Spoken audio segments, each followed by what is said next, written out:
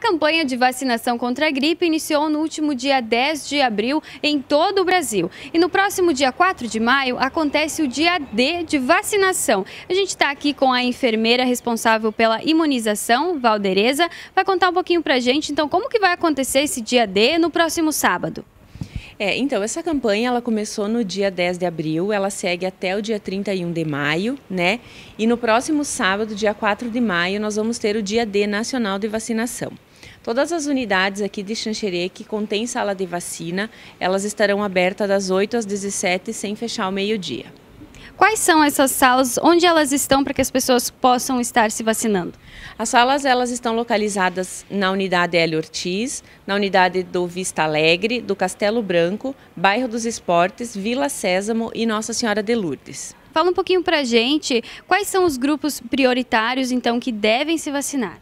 É, nós iniciamos no dia 10 até o dia 19 de abril com o grupo das crianças de seis meses a menores de seis anos, as gestantes e as puérperas até 45 dias após o parto.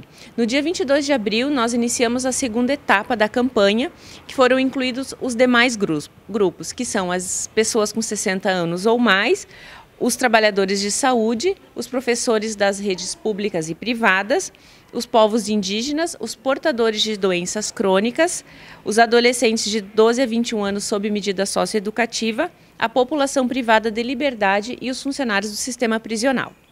Ressaltando que é muito importante que as pessoas se vacinem contra a gripe.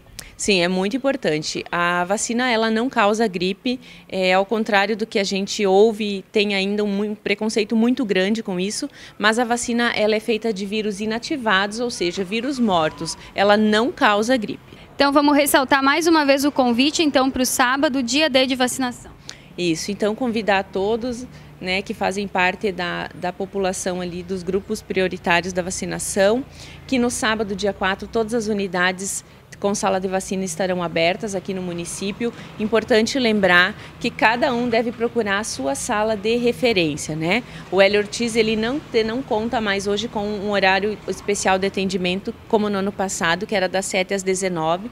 Então a população deve procurar a unidade de referência mais próxima da sua casa. Sua carteirinha de vacinação ela é imprescindível no momento da vacinação, tá? A gente precisa da carteirinha e de um documento, o cartão SUS de preferência. Obrigada então, Valdir Tereza, pela sua participação. Então fica aqui a dica para o sábado, dia 4 de maio, dia D de vacinação aqui em Xanxerê.